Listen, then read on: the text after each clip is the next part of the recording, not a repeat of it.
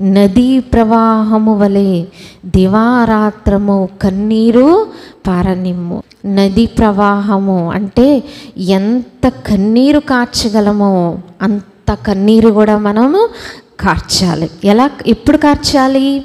దివా రాత్రం అంటే పగలు రాత్రి ఎప్పుడు గుర్తొచ్చినా మన కొరకు మన రక్షణ కొరకు మన బిడల రక్షణ కొరకు నదీ ప్రవాహము వలె కన్నీరు కార్చాలట. విరామము కలుగనీయకము.